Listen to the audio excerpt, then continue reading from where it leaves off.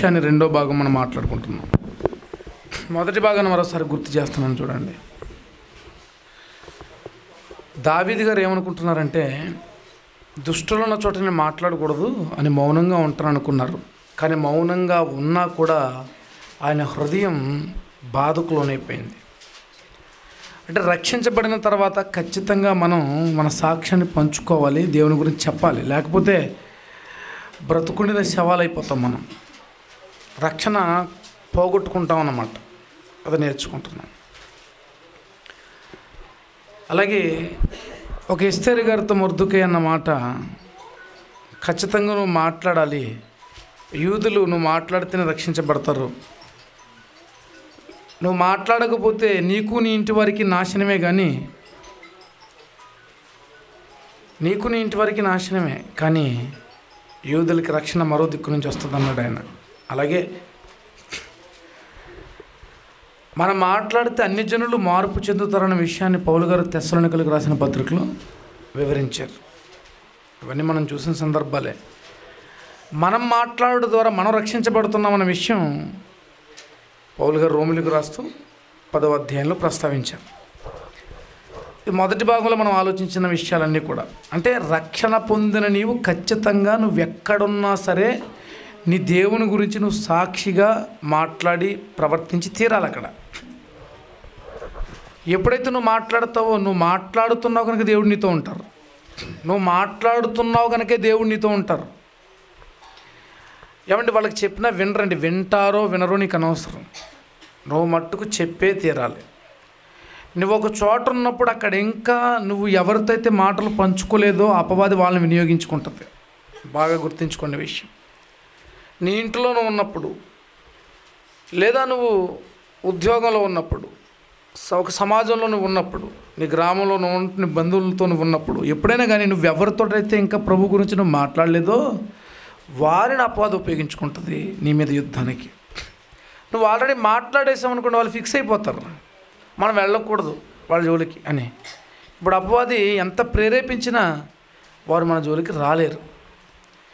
మన మాటలను బట్టి వస్తే దేవుళ్ళలోనికి వస్తారు లేదా రాకుండా దూరంగా ఉంటారు మనల్ని మనకు దూరంగా. అంతేగాని మనం చెప్పలేదంటే కనుక మనం అవకాశం ఇచ్చేసిన వాళ్ళం అయిపోతాం అపవాదికి అది గుర్తించుకోండి.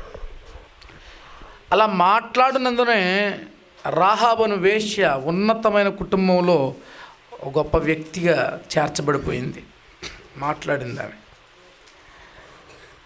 ఒక భక్తిపరుడు ఆమెని వివాహం చేసుకుంటాడు. ఆ భక్తిపరుని పేరు మనకు మత్తేసు వార్తలో మెన్షన్ చేశారు. అది కూడా చూద్దామా? మత్తేసు వార్త.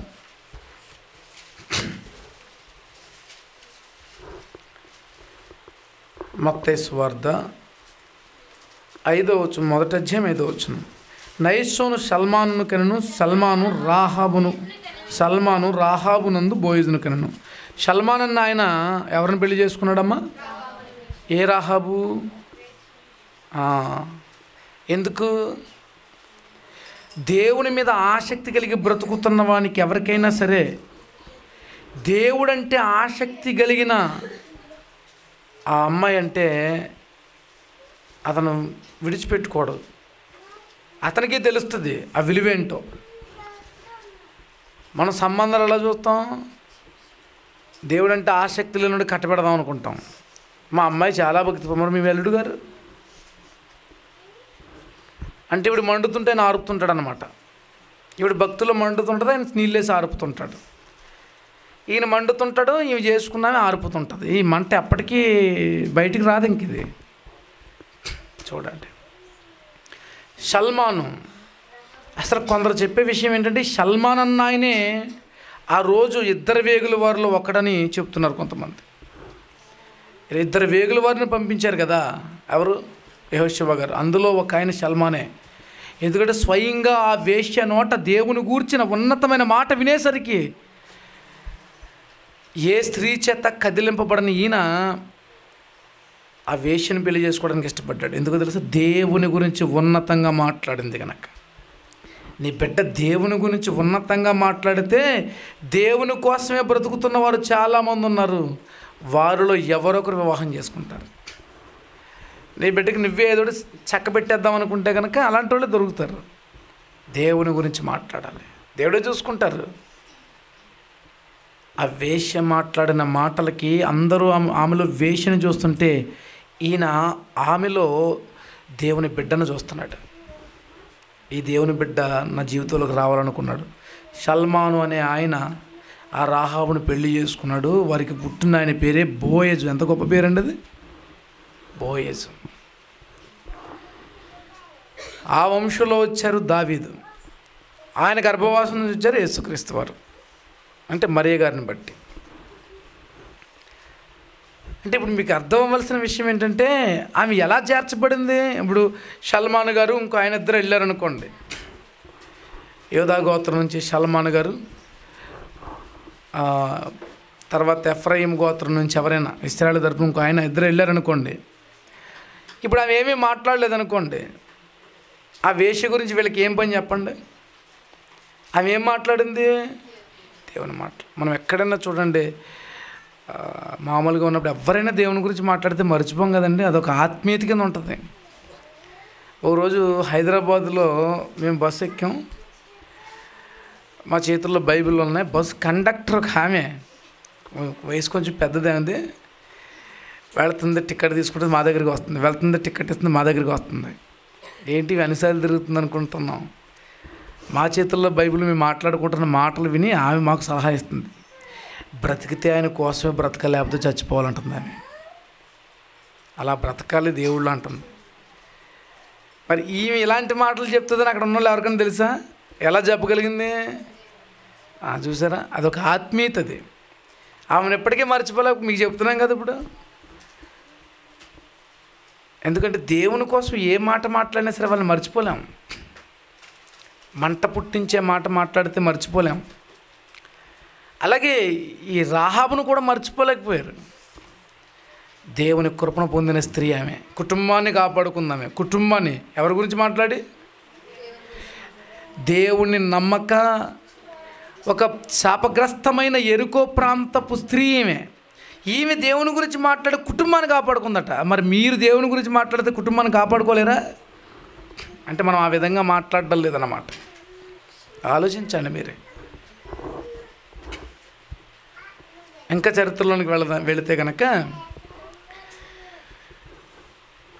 ఎంత పాడైపోయినా సరే జీవితాలు వారు దేవుని కోసం మాట్లాడి లోకంలో గౌరవప్రదమైన జీవితాన్ని జీవించిన వారికంటే ఉన్నతులైపోయారు.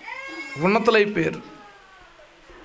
ఎవరి కోసం మాట్లాడి? దేవుని కొరకు మా దేవుని కొరకు మాట్లాడి ఈ రోజు నుంచి నువ్వు. నీ జీవితం ఇప్పటి వరకు ఎంత శాపగ్రస్తంగా ఉందో కానీ ఈ రోజు నుంచి ఆశీర్వాదపు బాటలోనికి వెళ్ళిపోతావు నువ్వు. నువ్వు ఇదివరకటి కంటే ఉన్నతంగా కనబడతావు దేవునికి. నీ ముఖము ప్రకాశించటం మొదలు పెడుతుంది అనేకులు నిన్ను చూసి భయక్రాంతులు అవుతారు అనేకులకు నువ్వు అంటే విలువ వస్తుంది. నీ మాట అంటే గౌరవం పెరుగుతుంది. నీ వ్యక్తిత్వాన్ని మెచ్చుకునేవారు చాలామంది ఉంటారు. నీ ఇంట్లో కూడా కార్యం జరుగుతుంది. నువ్వు దేవునికి సంబంధించిన విషయాలు మాట్లాడాలి. అలా మాట్లాడకుండా ఉన్న గురించి అపవాది మన ఇంట్లో ప్రవేశించాడు. ఎవరు వచ్చారు ఇంట్లోనికి? అపవాది వచ్చాడు ఏంటి ప్రాబ్లం అసలు? మా ఇల్లు ఏంటంటే ఎలా ఉందంటుంటారు ఏం లేదమ్మా. మీ ఇంట్లో దేవుని కోసం మాట్లాడుకోరు మీరు ఎప్పుడున్నా టీవీ కోసం మాట్లాడుకుంటారు ఉద్యోగాల కోసం మాట్లాడుకుంటారు చదువుల కోసం మాట్లాడుకుంటారు. అన్ని విషయాలు మీరు మాట్లాడుకుంటూ ఉంటారు కానీ దేవుని కోసం మాట్లాడరు మీరు. మాట్లాడు చూడు నీ బిడ్డల్లో మార్పు వస్తుంది. మాట్లాడు చూడు వాళ్ళు నోరు ఎత్తలేరు నీ ముందు. ఏమంటే భయం ఎప్పుడు కలుగుతుందో చెప్పండి పెద్దోళ్ళు అంటే మనకి. వాళ్ళు ఏదైనా మంచి విషయం మాట్లాడినప్పుడు వాళ్ళంటే భయం పడుతుంది. వాళ్ళు పనికి మాలిన మాటలు మాట్లాడుతుంటారు. పనికి మాలిన చెత్త కబుర్లన్నీ. ఈ చిన్న ఈ పిల్లలకి భయం ఉండదు ఏంటి? అంతే. చేసుకో. ఇది సమాధానాలు. నువ్వు దేవుని గురించి నువ్వు గడగడలాడుతూ మాట్లాడు నీ ముందు గడగడలాడతారు వాళ్ళు. ఆ విజ్ఞత మనకు లేకుండా పోయింది ఈరోజు. నువ్వు నోరిపితే దేవుని కోసం మాట్లాడు. దేవుడు అంటే వాడికి భయం పడుతుంది. భయం పడుతుంది అంతే అది నీ గొప్పతనం కాదమ్మా నువ్వు చెప్తున్న మాట గొప్పతనం అది. అలాంటి స్థితిలో మనం ఉండాలి. ఏ వేశ్య. ఒక వ్యభిచారండి ఆమె. మాట్లాడితే జీవితాలే కుటుంబమే మారినప్పుడు మనం మాట్లాడితే మన కుటుంబం సరిదిద్దపడదా మారుతుంది. సమరస్త్రీ గురించి మీకు తెలుసు. మిట్ట మధ్యాహ్నం పన్నెండు గంటలకు వచ్చింది కడవ పట్టుకుని.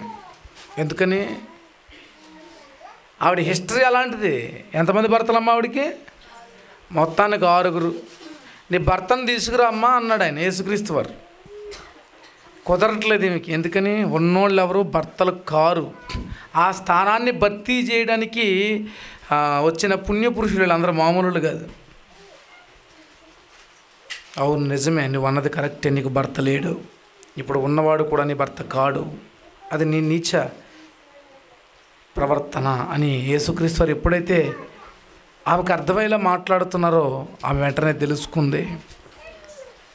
మెస్సియా వస్తారన్నీ చెబుతారంటే ఏంటో అనుకున్నాను నువ్వు మెస్సియావే అని గుర్తించింది. గుర్తించి ఏం చేసింది? కుండ పట్టుకుని మౌనంగా ఎవరికి చెప్పుకుని ఇంటికి వెళ్ళిపోయిందా? కుండ కూడా పట్టుకెళ్ళాలన్న సంగతి మర్చిపోయింది. కుండ అక్కడ విడిచిపెట్టేసింది.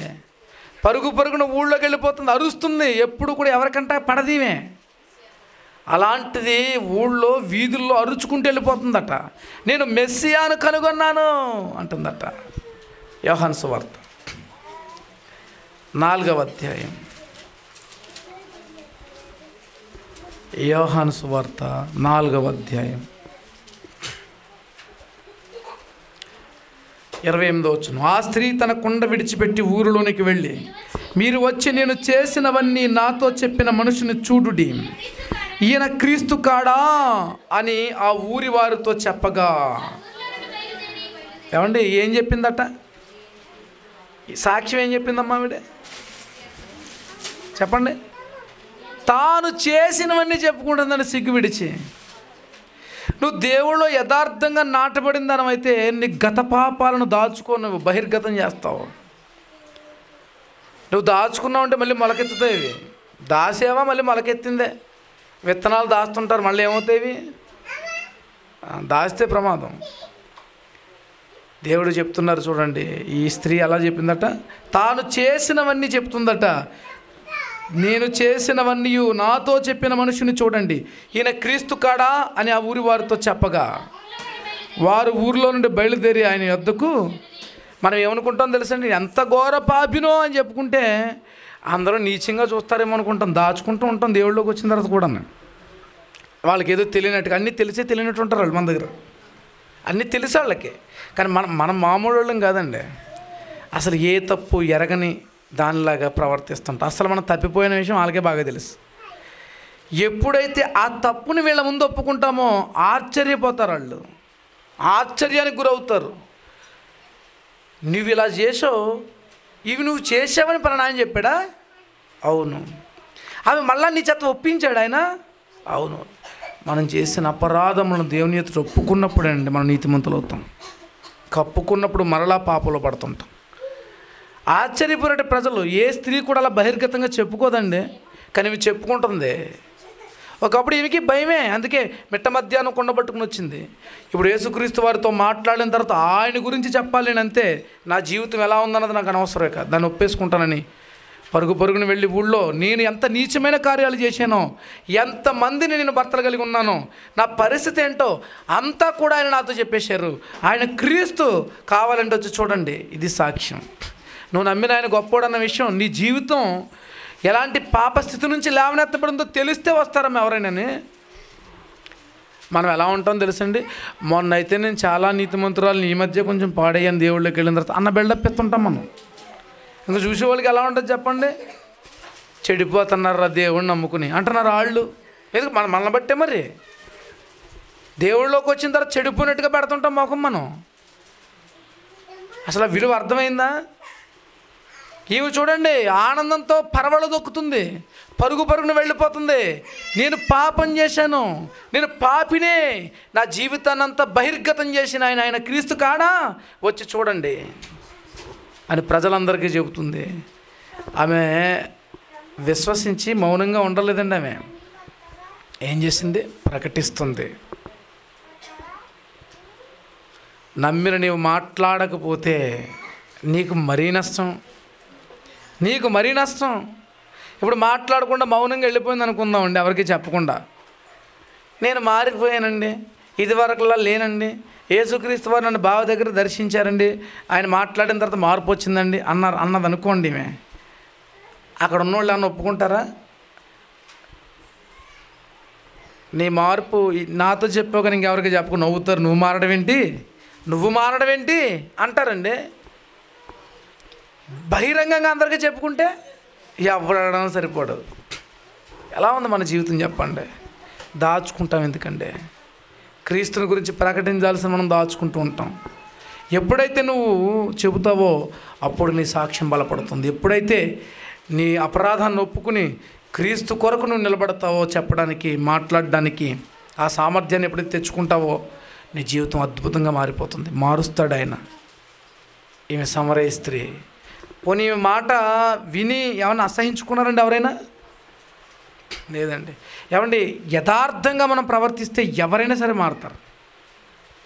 మనం దాచినప్పుడేనండి మార్పు రాదు. చూడండి ఈమె బహిర్గతం చేసుకున్నప్పుడు ఏం జరిగిందో చూడండి. ఆ ఊరి ప్రజలందరూ వచ్చేసారటండి. ముప్పై తొమ్మిదో వచ్చిన నేను చేసినవన్నీ నాతో చెప్పిన సాక్ష్యం ఇచ్చిన ఈ స్త్రీ యొక్క మాటను బట్టి ఊరిలోని సమరయులు అనేకులు ఆయన ఎందు ఆ మాటను బట్టి నమ్మేశారటండి. ఇప్పుడు ఎవరమ్మా ప్రసంగం చేస్తా? ఎంతమంది మారారు? సమరయ స్త్రీ కూడా ప్రసంగరాలు అయిపోయిందా సమరయ స్త్రీ కూడా మెసేజ్ చెప్పేసిందా? ఎలా వాడేసుకుంటున్నారండి దేవుడు వీళ్ళని? ఒక చెప్పుకోలేని జీవితం జీవించిన వారిని చూడండి. గొప్ప స్థితిలో ఉపయోగించుకుంటున్నారు దేవుడు. ఇవి మాట్లాడితే అనేకులు విశ్వాసం ఉంచారట. ఆయన వద్దకు అందరూ వచ్చారట. వచ్చి ఆయన మాటలు ఇంకా ఆశ్చర్యపోయారట. మాతో రెండు రోజులు ఉండండి మా ఊళ్ళో అన్నారట. ఆయన ఉన్నారండి? యేసుక్రీస్తు వారు? ఉన్నారండి ఆ ఊళ్ళోను? ఉండి ఆ ఊరి వారందరినీ మారుస్తున్నాడు ఆయన. చూసారు ఒక సమరయ స్త్రీ కారణం అండి. సమరయ పట్టణం అంతా మార్పు చెందడానికి. మనం ఏమనుకుంటాం నేను చెబితే ఎవరంటారండి? అమ్మ ఏమైంది? నేను నా స- నన్ను అలా అంటారండి ఎలా అంటారండి? ఏమన్నా సమరయ స్త్రీ కంటే ఎక్కువగా అంటారా నిన్ను? ఆమె ఎన్ని అంటున్నా సరే చూడండి ఆ గ్రామాన్ని ఆ పట్టణాన్ని కదిలించింది. మళ్ళీ ఎవరో ఏదో అంటున్నారు కాబట్టి దేవుని దూరం అయిపోతున్నాం ప్రేమిన వల్ల అది కాదు విషయం. మనం సరైన పాప ఒప్పుకోలు చేసుకోలేకపోయింది దేవునితో. అది మన భయం. పాపం మనిషిని భయపెడుతుంటుంది ప్రేమిన వరలరా పాపం ఏం చేస్తుంది తెలుసా? భయపెడుతుంటుంది. దాన్ని ఒప్పుకున్నంతసేపు కూడా అది భయపెడుతూనే ఉంటుంది. ఒప్పేసుకున్నాం అనుకోండి గొప్ప ధైర్యం వచ్చేస్తుందండి మనలోనికి. అప్పుడు దేవుని కొరకు ఉపయోగపడతాం. ఏదైనా దాయని మీరు తప్పు చేసి మీరు హడావుడి పడిపోతుంటారు. హడావుడి పడిపోతుంటారు అంతే. దొరికేస్తానేమో తెలిసిపోతానేమో అనుకుంటుంటారు ఏదో ఇప్పుడు నిద్రలో గాఢ నిద్రపోయి మీరే చెప్పేస్తారు. నిద్రలో మాట్లాడేసి వాళ్ళు ఉంటారు చాలామంది. దాగదు. ఏదో విధంగా బయటపడిపోద్ది. అది నువ్వే ఒప్పేసుకున్నావు అనుకో నీ జీవితం మారిపోద్ది. అనేకులకు సాక్షిగా నేను దేవుడు చేసుకుంటారు. సమర స్త్రీ సాక్ష్యాన్ని బట్టి సమరయ ప్రాంతాన్ని దేవుడు కదిలించారు. చూడండి అంటే మారిన ఆమె మాట్లాడిందట. అది విషయం. సమర స్త్రీ ఏం చేసింది? మాట్లాడింది. మారింది మాట్లాడింది. మీరు మారారు మాట్లాడరు. అది కదా తేడా. మీరు మాట్లాడరు. నువ్వు మాట్లాడినప్పుడు ధైర్యం వస్తుంది. నువ్వు మాట్లాడినప్పుడు పరిశుద్ధాత్మ దేవుడు సహాయం చేస్తాడు. అధికారులు రాజులు మిమ్మల్ని మహాసభలు మహాసభలో గీడ్చుకుని పోయినప్పుడు మీరేమి బాధపడకండి భయపడకండి. ఆ సమయంలో మీరేం మాట్లాడాలో పరిశుద్ధాత్మ దేవుడు మీ ఎందుండి సహాయం చేస్తారని యేసుక్రీస్తు వారు చెప్పలేదా? అన్నయ్య నాకు ఆత్మ సహాయం రావట్లేదు అన్నయ్య అంటున్నారు. మీరు చాలామంది ఎందుకు వస్తుంది తల్లి? నువ్వు ఎవరైనా మాట్లాడితే కదా. నువ్వు మాట్లాడితే కదమ్మా. ఖాళీగా ఉన్న నీకెందుకమ్మా ఆత్మ సహాయం నువ్వు నోరిప్పు ఆయన సహాయం చేస్తారు. నీతో ఆయన ఉంటారు. నిన్ను కంటికి రెప్పలా కాపాడుకుంటారు. ఒక్కసారి నువ్వు దేవుని కోసం మాట్లాడావు అనుకోమ్మా. ఇక ఆయన నీతో ఉండి ఎవరైనా కనపడితే ఏ ఆలోచన పెడతారో తెలిసి మీలో? దేవుని గురించి చెబితే బాగుంటుంది మీ వ్యక్తితో అనుకుంటూ ఉంటారు ఇక్కడి నుంచి మీరు. ఏదో కోణంలో వాళ్ళతో బాగున్నారంటే బాగున్నామండి. ప్రభు గురించి ఏమైనా తెలుసండి మీకు? ఏదో విషయం మాట్లాడేస్తుంటారు. అది ఆత్మ సహాయం అప్పుడు చూసారా నేను అనుకోకుండా కూడా ఈ వ్యక్తి స్వార్థ ప్రకటించాను రిజల్ట్ చూస్తుంటారు మీరు రిజల్ట్. ఎలా? ఎప్పుడు? అని మాట్లాడినప్పుడు. మాట్లాడకపోతే ఏం జరగవు ఇవే. మీ ఇంట్లో వాళ్ళు ఇంట్లోనే ఉంటారు నామకార్థులు నామకార్థులుగా ఉంటారు అన్యులు అన్యుల్లాగే ఉంటారు ఏమీ మార్పు రారు. ఎందుకు మార్పు రావట్లేదు చెప్పండి ఇప్పుడు మీరు. మీరు మాట్లాడరు కాబట్టి. ఎవరు మరి మాట్లాడుతుంటే తిడుతున్నారండి? అంటారు ఏమో దేనికి తిడుతున్నారమ్మా? వాళ్ళు తిట్టేది నువ్వు మాట్లాడినందుకు కాదమ్మా. నీ పరిస్థితి బాగోకమ్మా. నీ పరిస్థితి బాగాలేదమ్మా కొంతమంది మాట్లాడుతుంటారు నమ్ముకుంటే నీకే మంచిది నమ్ముకోకపోతే పోతావు అంతే. ఇదండి మాట ఇది కూడా మాట్లాడమే చెప్పించడం అది. నేనేం నమ్ముకోను. పోన్లే పోతే పోతాను అంటారు వాళ్ళు. అప్పుడు చూడండి మీరు ఇప్పుడు సాక్ష్యాలు చెప్తారు ఇక్కడ. చాలా ప్రయత్నిస్తున్నానండి. వాకింగ్ చెప్పి ఎలాగైనా మారుద్దామని. ఆయన మారనంటున్నాడండి. ఏంటి ఇలా చెప్పే? ఇదా చెప్పటం. మన వాళ్ళు మామూలు వాళ్ళు కదండి. సహనం లేదు ఓర్పు లేదు. వాళ్ళకి వివరించటం లేదు. ఏ సందర్భంలోన్నా దేవుడి మాట ఇలా అంటుంది కనుక మన హృదయాల్లో ఉంచుకుని దాని ప్రకారం మాట్లాడడం లేదు. నా భార్య ఏం మాట్లాడినా మంచి మాట్లాడుతుందండి. ఎందుకంటే బైబిల్ చదువుతుంటుంది కదండి. సాక్ష్యం వాళ్ళు ఇవ్వగలగాలి. అలా చెయ్యం మనం. వ్యభిచారులు వేష్యలే పట్టణాలకి పట్టణాలని కుటుంబాలకు కుటుంబాలని మార్చుకుంటున్నారంటే మాట్లాడి. మనం ఏంటండి అసలు? చెప్పుకుంటే సిగ్గుచేయటం ఎన్ని ఆశలు పెట్టుకున్నాడండి ఆయన? నీ టార్గెట్ కనీసం వెయ్యి మంది. నువ్వు ఎంతమందిని రక్షించాలమ్మా? వెయ్యి మందే ఎంతోమంది కాదు. నువ్వు రక్షించగానే నీకు పరలోకి ఇస్తాడు ఆయన. వెయ్యి మందిని రక్షించాలంటే ఇప్పుడు నుంచి ఏం చేయాలి నువ్వు? మాట్లాడతావా మరి? ఓ పుస్తకం కూడా చదవండి. భయమే చదవటం మనిషిని ఇంకా. నీ బ్రతుకు కాలంలో కోటి ఆత్మలు రక్షించగలవా అని రాశాడండి ఆ దైవజనుడు ఎవరో కానీ. కొంచెం చదివి దండం పెట్టేసానండి అనుకొచ్చి. కోటి ఆత్మలా. అలా ఉండాలంటే రోషం. అలా బ్రతకాలి ప్రేమైన వాళ్ళరా. నువ్వెక్కడికి వెళ్ళినా సరే దేవుని గురించి మాట్లాడు నీ వెనకాల ఆత్మలు పరిగెత్తుకుంటూ వస్తాయి. అదే కాన్సెప్ట్ పెట్టుకోవాలి మన అందరం కూడా అంతేగాని ఇప్పుడు ఉద్యోగం టైం అండి ఇది. అదేమో దేవుని టైం అండి అది. ఏ టైము? ఇప్పుడు తిండి టైం అండి ఇప్పుడు నిద్ర టైం అండి దేవుని టైం వస్తుందండి మళ్ళీ. అప్పుడు దాకా ఇంకా మళ్ళీ బైబిల్ ముట్టుకోమండి దెబ్బతినేస్తాయి జీవితాలు. ఏంటో అనుకుంటున్నారు మీరు. ప్రభువు కోసం వేశ్యలు ప్రభువు కోసం వ్యభిచారులు ప్రభువు కొరకు నీచ ప్రవృత్తి కలిగిన వారు మాట్లాడి వారి జీవితాలను బాగు చేసుకున్నారు ప్రేమిన వలరా సువార్త అంటే ఏంటో చెప్పండి? యేసుక్రీస్తు వారు లేఖనముల ప్రకారము మరణించి సమాధి చేయబడి లేఖనముల ప్రకారము తిరిగిలాట. ఇది సువార్త. మొట్టమొదటిగా ఈ సువార్త ఎవరికి అందింది? ఈ సువార్త శిష్యులకి అందింది. కదండి? ఎవరు అందించారు? దీనికంటే దుర్మార్గం ఉంటుందమ్మా ఇంకా. ఆయన చనిపోయాడన్న వార్త శిష్యులకు ముందు ఎవరు చెప్పారని అడిగాను నేను. ఎవరమ్మా? సరిగ్గా చెప్పండి. సగం సగం మొక్కలు చెప్తున్నారు. Magdalene Maria. ఈమె ఎలాంటిదో తెలుసా మీకు? ఈమె కూడా పాడైపోయింది. ఈమెని ఏడు దెయ్యాలు పట్టేసుకున్నాయి. ఏడు దెయ్యాలు కూడా పట్టుకుంటే ఈమె దెయ్యాల చేత పీడింపబడుతుండేది. ఆ సమయంలోనే వ్యభిచారం కూడా ఈమె జీవితంలో ఉంది. ఆ సమయంలోనే ఇష్టానుసారంగా ప్రవర్తించడం ఉంది. పిచ్చి పట్టిందాలా ఉండేది. Magdalene Maria. ఆ మరియను దర్శించారు ప్రభు. ఆ మర్యాదకు వచ్చింది దేవుని మాట. ఆ మరియను బాగు చేశాడు ఆయన. ఆమె జీవితం మారిపోయింది. లోకాసు వార్త. ఎనిమిదవ అధ్యాయము రెండవ వచనం చూద్దాం. పన్నెండు మంది శిష్యులను అపవిత్రాత్మలను వ్యాధులను పోగొట్టబడిన కొందరు స్త్రీలను అనగా ఏడు దెయ్యాలు వెళ్ళిపోయిన మగ్ధలేనే మరి అట. ఏమని రాశారండి ఆమె కోసం? ఎన్ని దెయ్యాలు పోనీయట? ఏడు దెయ్యాలు ఉన్నామే పోగొట్టుకుందట. ఏడు దెయ్యాలు వెళ్ళిపోయినట్టు ఆమెలోంచి మగ్ధలేనే మరి ప్రభువుకు చాలా దగ్గరగా జీవించిందండి. ఆయన సేవలు తరించింది ప్రేమిన వరల దెయ్యాలు వెళ్ళగొట్టబడిన తర్వాత ఇంటికి వెళ్ళిపోలేదు. ప్రభు వెంట నడిచింది. శిష్యులను వెంబడిస్తూ ఉండేది. ఆయన కొరకు ఉపచారం చేస్తుండేది సాక్షిగా మిగిలిపోయింది ప్రేమిన వరలరా. ప్రభువారిని సమాధి చేస్తున్నప్పుడు చూసింది. తర్వాత మొట్టమొదటిగా ఆమె వెళ్ళి ఆ యొక్క సమాధిని దర్శించింది. మార్కు సువార్త పదహారు అధ్యాయం తొమ్మిదో వచ్చిన చదువుదాం. ఆదివారం తెల్లవారు ఆదివారం తెల్లవారినప్పుడు యేసు లేచి తాను ఏడు దెయ్యములు వెళ్ళగొట్టిన. మగ్ధులేనే మరియకు?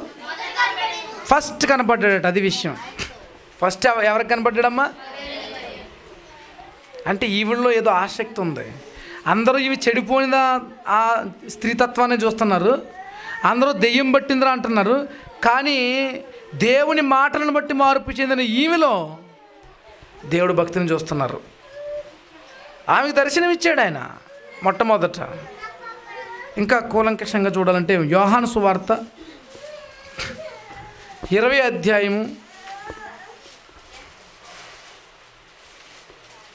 యోహాను సువార్త ఇరవై అధ్యాయం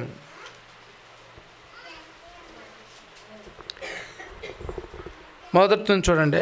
ఆదివారం ఇంకనూ చీకటిగా ఉన్నప్పుడు మగ్ధులేనే మరి పెందలకడ సమాధి వద్దకు వచ్చిందట అమ్మ అమ్మ చీకటిగా ఉన్నప్పుడు వచ్చింది చూసారండి ఈమె?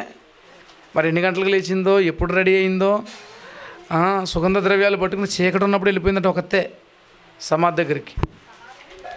సమాధి మీద ఉండిన రాయి తీయబడి ఉంటే చూచింది.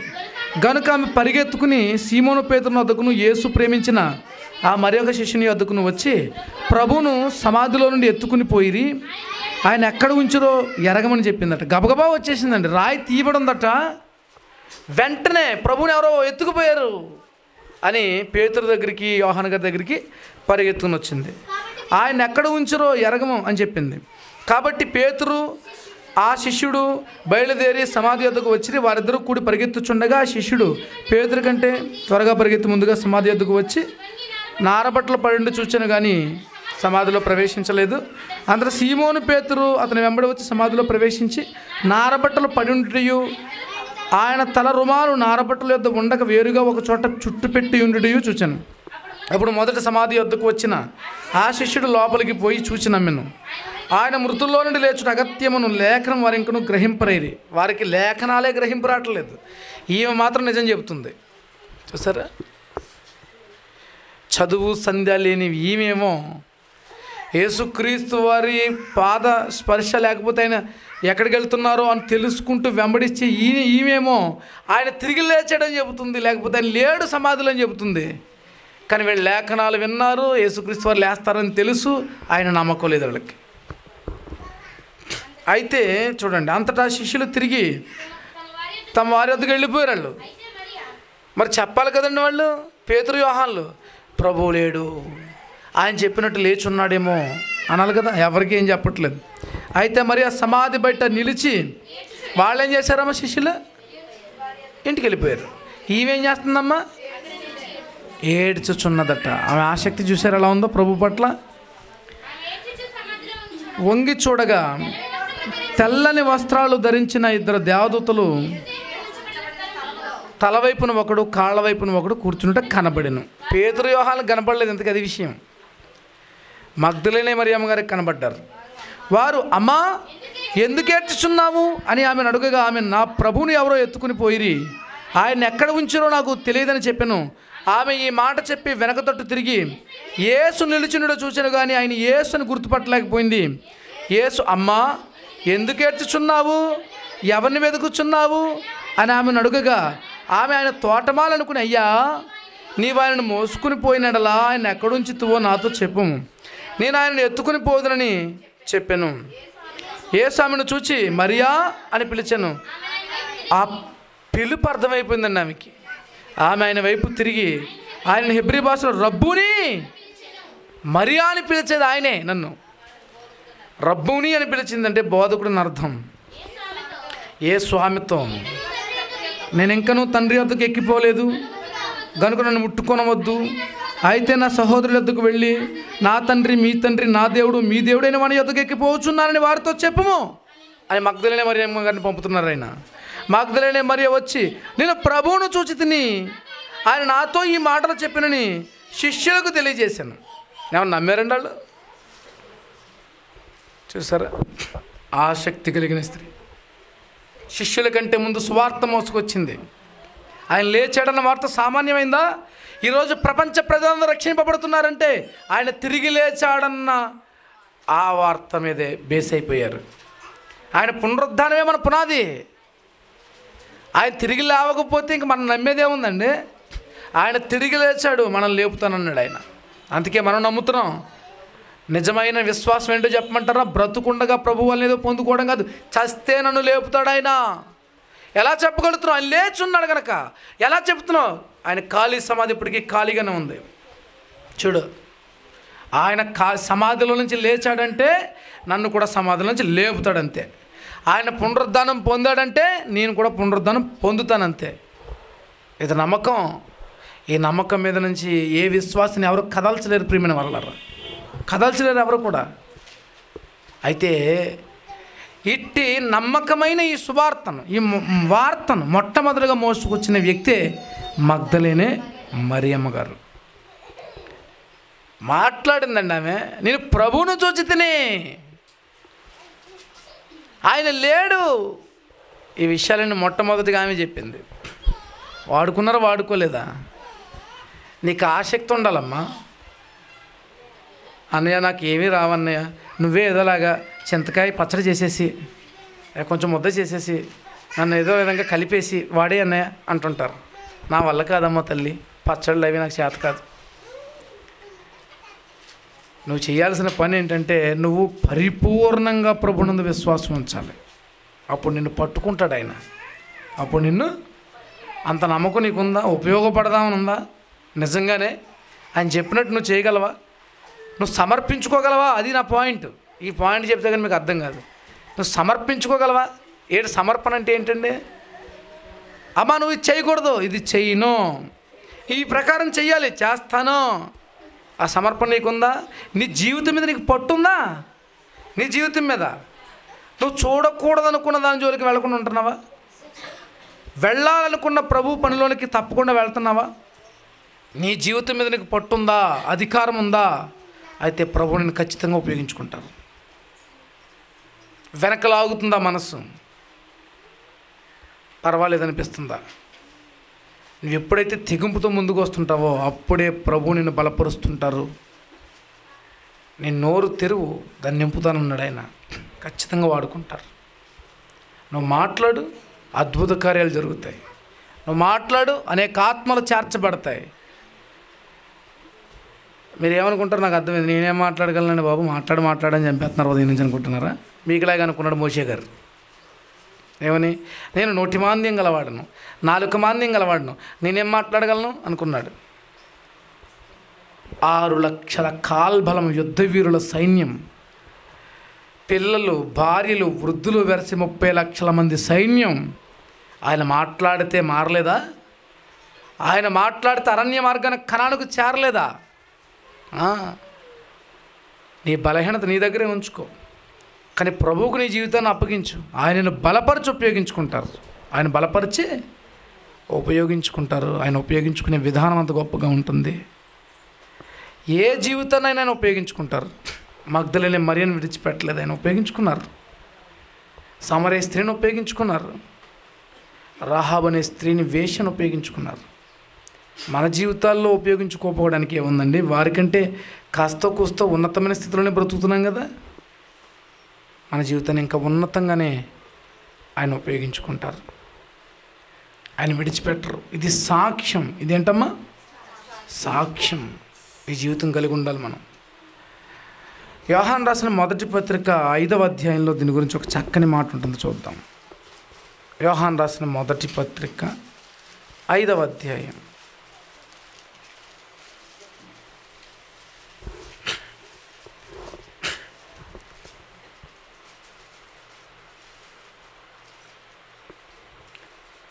తొమ్మిదో వచనంలో మన మనుషుల సాక్ష్యం అంగీకరించుచున్నాం కదా దేవుని సాక్ష్యం బలమైనది. దేవుని సాక్ష్యం ఆయన తన కుమారుని గురించి ఇచ్చినదే. పదవచనం దేవుని కుమారుని విశ్వాసం ఉంచువాడు తనలోనే ఈ సాక్ష్యం కలిగి ఉన్నాడు. దేవుడు తన కుమారుని గురించి ఇచ్చిన సాక్ష్యం ఎవరు తనలో కలిగి ఉన్నారో చెప్పండి ఇప్పుడు మీరు. నువ్వు ప్రభునందు విశ్వాసం ఉంచితే ఆ సాక్ష్యాన్ని నువ్వు కలిగి ఉన్నావు. దేవుడిచ్చిన సాక్ష్యం ఇప్పుడు ఎక్కడుంది? నీ హృదయంలో ఉంది. నువ్వు కలిగి ఉన్నావు. దేవుని నమ్మని వాడు ఆయన తన కుమారుని గురించి ఇచ్చిన సాక్ష్యం నమ్మలేదు కనుక అతడు దేవుని అబద్ధికునిగా చేసిన వాడే. నువ్వు అబద్ధికునిగా చేసావా దేవుణ్ణి? లేదా సాక్షిగా నువ్వు నీ హృదయంలో ఉంచుకున్నావా? ఉంచుకుంటే మాట్లాడతావు నువ్వు. నీ హృదయం దేంతో నిండిందో అది నీ నోరు మాట్లాడుతుంది. అయితే సాక్ష్యం ఏంటి? ఆ సాక్ష్యం ఏదనగా దేవుడు మనకు నిత్య జీవము దయచేసను. ఈ జీవమైన కుమారుని ఎందున్నది? దేవుని కుమారుని అంగీకరించేవాడు జీవం గలవాడు దేవుని కుమారుని అంగీకరింపనివాడు జీవం లేనివాడే. అదే సాక్ష్యం. ఏంటి ప్రయాసం ఇది? ప్రభుని అంగీకరించండి. అంగీకరిస్తే ఏంటి? జీవాన్ని పొందుకుంటారు. అంగీకరించడం ఏంటట? నాశనానికి పోతారు. దయచేసి అంగీకరించండి. ఏదో నా జీవితాన్ని చూడండి ఆయన అంగీకరించాను. నన్ను ఆయన ఉపయోగించుకుంటున్నారు ఆయన పని కొరకు. మీరు కూడా ప్రభు చేతిలో వాడబడతారు. మార్పు చెందండి. ఏ బాధ బందీలో ఉన్నా ఏ శ్రమల కష్టాల సుడిగుండాల్లో చిక్కుకున్నా ప్రతి ఒక్కరికి మనం చెప్పే మాట ఒకటే ప్రభువుని అంగీకరించండి. ఆయన చూసుకుంటారు అంతే ఈ మాట చెప్పడానికే మారిన నీవు నోరు తెరవాలి. మారిన నీవు నోరు తెరవాలి. నా జీవితం కూడా ఒకప్పుడు ఇలానే ఉండేది. నేను ప్రభుని అంగీకరించాను. నువ్వు కూడా అంగీకరించి నీ జీవితాన్ని అయినా ఉపయోగించుకుంటారు. ఎందుకంటే ప్రభువే అన్నారు తిరిగి లేచిన తర్వాత మీరు భూదగంతాలకు వెళ్ళి నాకు సాక్షులుగా ఉండమని. అపోస్తుల కార్యాలు మొదట అధ్యాయం ఎనిమిదో వచ్చును అపోస్తుల కార్యంలో మొదట అధ్యాయం ఎనిమిదో వచ్చును ఆయనను పరిశుద్ధాత్మ మీ మీదకి వచ్చినప్పుడు మీరు శక్తి నొందెదరు కనుక మీరు ఎరుషలేంలోను యోదయ సమరయ దేశములలోను అంతటను వరకు భూదిగంతముల వరకు నాకు సాక్షులయ్యుందురు నాకు భూదిగంతాల వరకు మీరు సాక్షులై ఉంటారు. నన్ను విశ్వసిస్తున్నారా? అయితే మిమ్మల్ని ఉపయోగించుకుంటానంటున్నారు ఆయన. సాక్షులుగా చేసుకుంటున్నాడండి ఆయన. నువ్వెవరు అమ్మ ఇప్పుడు నువ్వెవరు? సా కొద్దిమంది చెప్తున్నారేంటి నువ్వెవరు అమ్మా? సాక్షివి నువ్వు. నువ్వు మాట్లాడకపోతే ఏం జరుగుతుందో తెలుసు కోర్టులోను? సాక్షి నువ్వు చెప్పకపోతేనే ఇప్పుడు? నిర్దోషికి పడిపోద్దమ్మా ఉరి శిక్ష అక్కడ. నువ్వు చెప్పాలి ఇప్పుడు. లోకమంతా నేరం మోపుతుంది యేసుక్రీస్తు వారి మీద. ఇతడు దోషి ఇతడు నరహంతకుడు ఇతడు మాయలు చేసేవాడు దెయ్యాలను వెళ్ళగొడుతూ అబద్ధాలు చెబుతూ ప్రజలను ఆసగిస్తూ ఎన్నో కార్యాలు చేశాడు ఇతను మేము నమ్మం అంటున్నారు. ఆ సంగతి నీకే బాగా తెలుసు. ఆయన అలాంటివాడు నువ్వు ఇప్పుడు ఏం చెప్పాలి? సాక్ష్యం చెప్పాలి. లేదు అతడు చాలా గొప్ప దేవుడు. దానికి సాక్ష్యం నేనే అన్నాను అనుకోండి అప్పుడు జడ్జి గారు ఏమంటారు? నిరపరాధిని పట్టుకుని అపరాధం చెప్పి తప్పుడు నేరం మోపుతున్నందుకు వారిని శిక్షిస్తూ ఆమె ఇచ్చిన సాక్ష్యాన్ని బట్టి ఈయన గొప్పవాడని తీర్పు తీర్చడం ఏందంటాడు ఆయన? అంతేనా? మరి ఇస్తున్నాం అవకాశం? సాక్ష్యం ఇస్తున్నాం మనం మా ప్రాంతం అండి చాలా దారుణం అండి అసలు దేవుడిని ఎవరు నమ్మరండి? నువ్వు ఉన్నావమ్మా నమ్ముకుని? ఆ ఉన్నానండి. సాక్షి ఇస్తున్నావమ్మా. అసలు చెప్పనండి ఎవరికి నేను? మంచిదమ్మా వాళ్ళతో పాటు నువ్వు నరకానికి పోవడమే ఇంకా. నోరిప్పవు కదా. నీ క్రీస్తు గొప్పతనం నువ్వు నోరెప్పితే కానీ తెలీదు. నీ క్రీస్తు గొప్పతనం నువ్వు నోరెప్పితే కానీ తెలీదు. నీకులా వాక్యం క్రీస్తు గొప్పతనాన్ని తెలుసుకోవటం ఎన్ని జనాంగానికి రాదు. నిన్ను చూసి నేర్చుకుంటారు వాళ్ళు ఇప్పుడు. నీ బ్రతుకు బాగుపడితే అప్పుడు వస్తారు దేవుని సన్నిధికి. నువ్వు సాక్షిగా నిలబడాలి. ఒక సమరయ స్త్రీ సాక్ష్యం ఇస్తుంది. ఒక మగ్ధలేని మరియు సాక్ష్యం ఇస్తుంది. ఒక రాహాబ్ అనే సాక్ష్యం ఇస్తుంది. దేవుడు గొప్పవాడని. ఆ మాటలు వారిని బాగు చేసినాయి. వారు ఎవరితో పరికారో వారి జీవితాన్ని కూడా బాగు చేసినాయి. ఇప్పుడు నువ్వు చెబుతున్న సాక్షి నిన్ను బాగు చేస్తుంది మొట్టమొదటిగా. నీ జీవితాన్ని మారుస్తుంది. రెండు నీవెవరితో అయితే చెబుతున్నావు వారి జీవితాలు కూడా మార్చబడతాయి. అయినా ఆయన కోసం సాక్షిగా మిగలటం అంటే సాక్షిగా మనం జీవించటం అంటే ఎంత గొప్ప భాగ్యమో తెలుసండి? ఎంత గొప్ప భాగ్యమో తెలుసండి? దేవదూతలందరూ దేవదూతల్లో ప్రధానులు ఆయనకి సాక్షులుగా ఉన్నారు. ఆయనకు సాక్షులుగా ఉన్నారు. పరలోకంలో ఒక దర్శనాన్ని చూస్తూ బాప్తిస్మిచ్ యోహాన్ గారు దేవదూత కాళ్ళ మీద పడతాడండి. అప్పుడు ఆ దేవదూత బలిష్ఠుడైన ఆ మహాదేవదూత ఏం చెప్తారో తెలుసా? చూద్దామండి. ప్రకటన గ్రంథం పంతొమ్మిదవ అధ్యాయము. ప్రకటన గ్రంథం పంతొమ్మిదవ అధ్యాయము.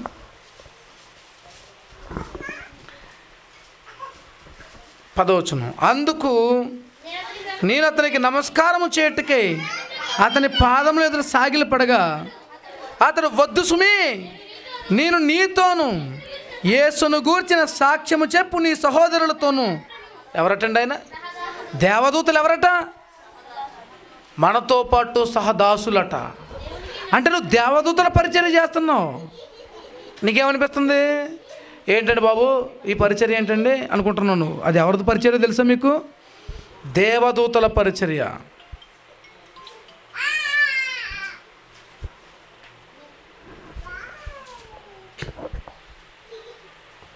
చెప్పండి. చెప్పండి. హలో. అలా బయట ఎవరిని మాట్లాడతారు? చూడండి. ఏ పరిచర్య అది దేవదూతల పరిచర్య. అవి సిగ్గేస్తుంది నీకు ఇప్పుడు. సహదాసుడను నాకు మొక్క మొక్క నాకు మొక్కొద్దు అంటున్నాడండి దేవదూత. దేవునికే నమస్కారము చేయము. యేసును గురించిన సాక్ష్యము ప్రవచన సారము. యేసును గురించిన సాక్ష్యము ఆయన గురించి నువ్వు సాక్ష్యం ఇచ్చావంటే నువ్వు ప్రవచన సారాంశంలోనికి వెళ్ళిపోతున్నావు. నీ మాటకు విలువ ఉంది. ఎందుకంటే నువ్వు ఆయన గూర్చిన మాట మాట్లాడావు కనుక నీ మాటకి ఏముంది విలువ వచ్చేసింది. ఏమంటే కొంతమంది మాటలను బట్టి గొప్పవాళ్ళు అయిపోతారండి. ఆయన భలే మాట్లాడుతారని అంటుంటారు.